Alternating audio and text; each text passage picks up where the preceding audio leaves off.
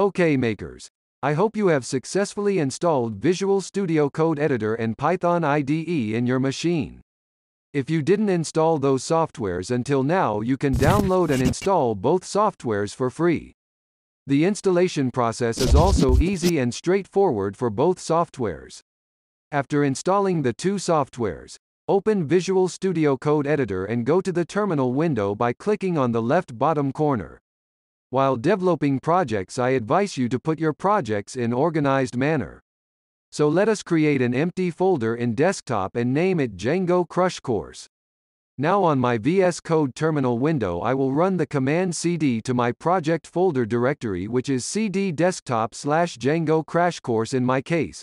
cd stands for change directory. So when I run this command on my VS Code terminal my current directory will be switched to my project directory. CLS is a command which is used to clear the previous outputs from the terminal. Type Python and press Enter to verify that Python is installed on your machine. If a Python shell is open to you it means Python is properly installed and added in your environment variable path. So type exit to exit out of the shell. If you got an error you have to install or you have to add the installation path of your Python IDE into your environment variable path list. If you install Python you can add the installation path of your Python IDE into your environment variable path list. Go to Edit the System Environment Variable.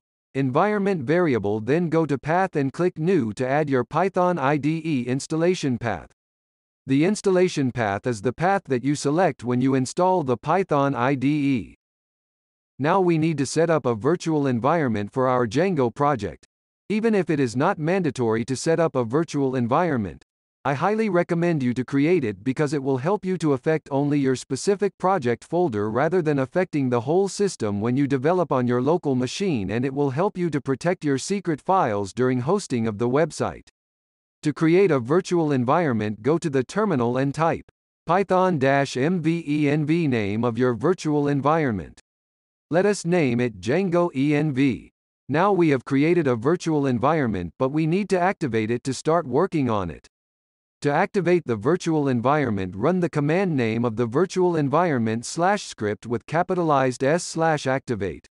Whereas if you need to deactivate the virtual environment simply type the command deactivate. Now it is time to install the Django web framework on your machine. We will be installing Django using the pip command. Let us verify that pip is installed in our machine. Go to the command prompt and type pip dash dash version.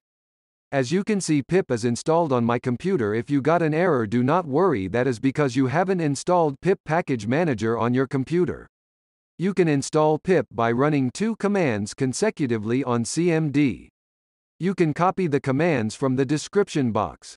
After all, go to your project directory in your terminal, Activate your virtual environment and install Django by running the command pip install Django. This command will install the Django web framework on the virtual environment even if the Django crash course folder is empty when we created before. Now it has a folder Django env this is because we have installed our virtual environment in this specific folder. All our projects file and package will stored in this specific folder as long as the virtual environment is activated. Now we can create our very first Django project by running the command django-admin, start project, project name. We have successfully created our first Django project. A new folder with our project name will be created automatically. The folder consists of some Django default files. So we need to change our directory to the project folder by cd to my first project. Now we have set up everything. We need to start our development server by running the command python manage.py run server.